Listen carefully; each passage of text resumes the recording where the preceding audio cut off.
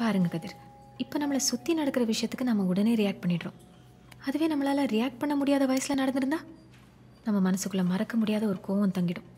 அதுக்கு பேர் தான் அன்ஃபர்கிவ்னஸ் ஹுக் நம்ம மன்னிக்காம நம்ம மனசில் வச்சிருக்கிற கோவம் ஒரு ஹுக்காக மாறிடும். இதுலேருந்து எஸ்கேப் ஆகிற ஒரே வழி அந்த கோவத்தை மறந்து அதை மன்னிக்கிறது தான். நீங்கள் பாரிஸ் போயிருக்கீங்களா?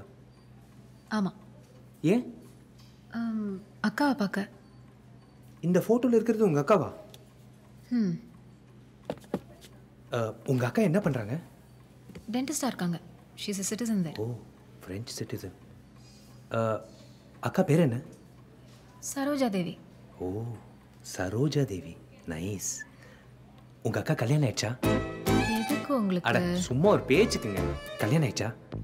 இல்லை. சூப்பர் சூப்பர் ஏங்க உங்களுக்கு நான் கோவப்படக்கூடாது. எனக்கு இந்த ஊர் விட்டு போகணும். நம்ம ரெண்டு பேரோட குறிக்கோள் ஒண்ணுதான்.